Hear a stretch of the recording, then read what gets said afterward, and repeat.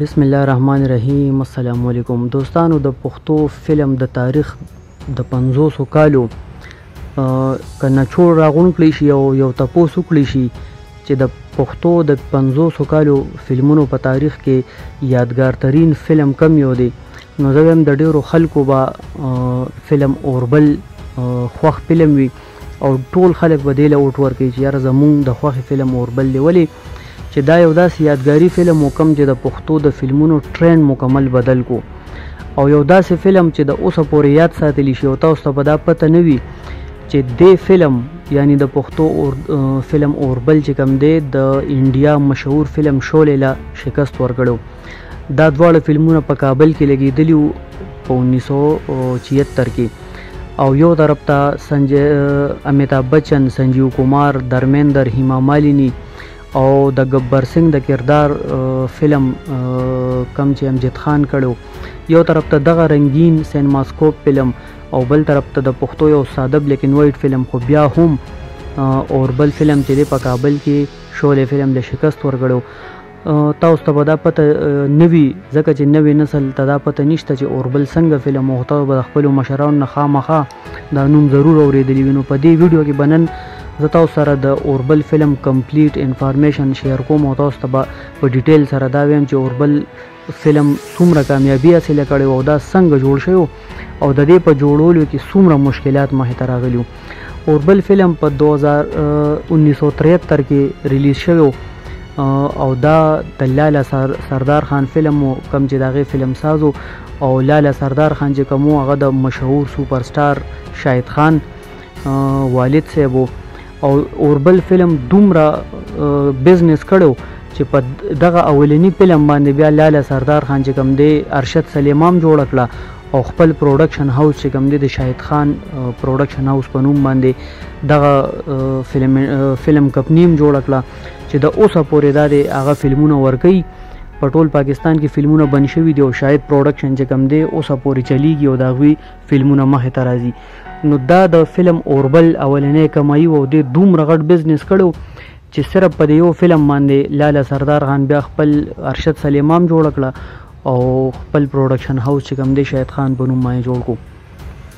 دا د انیس اوترهتر فلم و، د دې فلم هدایتکار چې کوم و، دا ممتاز علي خان صاحب و، کوم چې مشهور د پښتو فلمونو هدایتکار دی او دیدن او جوارګر، زرتاجه، خانه بدوش په شان غټ غټ فلمونه هغه ورکړي دي. د دې فلم نغمات چې کوم و، د دې شاعران چې کومې نغمې لیکلې وې، دا امیر غلام صادق او مراد شینواري صاحب لیکلې وې. موسیقار د دې فلم مشهور موسیقار او ګلوکار رفیق شینواری صاحب او پلی بیک سنگران چې کوم د دې فلمو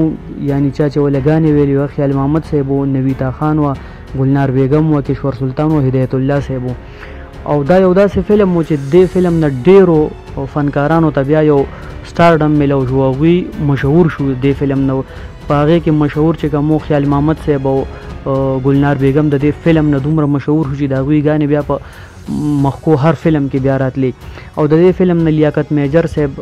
مشهور چې کوم کامیډین د سنتیز په نوم باندې هغه هم د دې فلم نه مشهور شوی او د دې فلم خاص کر یو فکره چې کوم وا لیاقت میجر صاحب چې بکوله چې زه سکدو کریل نه یم زه سنتیز د دور کلینډر یم نو دغه دې فلم د دغه فکرې نه بیا په دمه باندې د سنتیز نوم مشهور شو دی یو سوپر هټ کامیډین جوړ شو د دې فلم نه چې کوم دینو امان چې کوم مشهور اداکار دی هغه ته مې استادم ملو شو بیا ور سره چې کوم بدر منیر صاحب اسف خان او نعمت سرحدي ثریا خان یاسمین خان هم د دې فلم نه ډیر زیات مشهور شو او هغوی کیریئر مخ په وړاندې بیا لاړو دا فلم څنګه جوړ شو دا په 1973 کې لالا سردار خان کم چې د شاهد خان دی والد صاحب اب د ویګنو کار کو د ترانسپورت سره هغه منسلکو دا غي اوسو گاډیو ویګنی ویغه به چلی دی او هغه یو ترانسپورت بزنس وو نو هغه چرته د فلم شوټینګ کېدو نو هغه ممتاز علي صاحب چې کوم هدایتکار هغه سره ملو شو او هغه نه تاسو کو چې یاره یو ښه معیاري فلم ولې نه جوړیږي نو ممتاز علي خان صاحب ورته وویل چې یاره ولې نه جوړیږي هغه پیسې غواړي هغه باندې سرمایه لګي نو لاله سردار خان وته وی چې که زه تاله سرمایه درکم او زه یو مطلب ایز ا پروډوسر تا سره شامل شم نو بیا به یو فلم داسې یادګار جوړ شي ممتاز علي خان صاحب وته وی چې بالکل به جوړ شي نو بس د دک خبرې نه بیا اوربل فلم سٹارټ شو او هغه دومره غټ بزنس وکړو چې هغه سپټ پنا خبره نه ده که تاسو اوربل فلم نه کتلی په یوټیوب باندې پروت دی تاسو یې کتی شئ یو ډیر سپر هټ فلم او په دې فلم کې هدایتکار ممتاز علي خان صاحب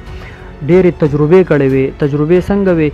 یو خو د دوی خپل یو ټیم و په کم کې چې ثریا خان و اصف خان و بل طرف ته د هدایتکار عزیز تبسم صاحب ټیم و په هغې کې بدر منیر و یاسمین خان و د د ممتاز علي خان صاحب سره چې کوم ګلوکار او هغه ګلنار بیگم او خیال محمد صاحب د عزیز تبسم په ټیم کې ګلوکار چې کوم هدایت الله صاحب او نویتا خان و نو ممتاز علي خان صاحب د په دې فلم کې دا تجربه وکړه چې دغه ټول ټیم راغون کو او دین یو ټیم جوړ کو یو فلم کې دا ټول استعمال کړو نو په پيل ازل بدر منير او اصف خان يو فلم کې مخامخ شو بيا ياسمين خان او ثريا خان په يو فلم کې مخامخ شو بيا هدايت الله صاحب او خيال محمد صاحب په يو فلم کې مخامخ شو غانې وکړي بيا ګلنار بیگم او نویتا خان په یو فلم کې غانې وکړي نو دغه سي دا یو ډیره خولي تجربه او د دې فلم د مین کامیابی وجه چې کومه دا و چې دغه وخت سوپر سټار هیرو چې کومو بدر منیر صاحب هغه په دې فلم کې د ویلن کار کړو د ویلن داسې چې یو انټي هیرو انټي هیرو کردار هغه کړو کم چې یو داسې مرکزی کردار کم چې غلاګان هم کوي ډاکې مچي قتل هم کوي نو هغه په پیل ازل په دې فلم کې په داسې منفي نیگیټیو رول کې راغلی او خلکو دومره خوښ کو چې بیا اوربل نه یو تاریخ جوړ شو او نن سبا اوربل چې کوم دی د پښتو فلم په فلمونو کې د یو نصاب درجه لري چې نور اداکاران کم هدایتکار چې دی فلم ساز دی اکټران دی ا د دې فلم نه زده کړه کوي نو دا مې تاسو سره د اوربل فلم سم معلومات شیر کول امید کوم چې تاسو به خوښ شوي ان شاء الله نور داسې معلوماتي ویډیوز به تاسو سره ټایم په ټایم شیر کوو که دا ویډیو تاسو خوښه شوي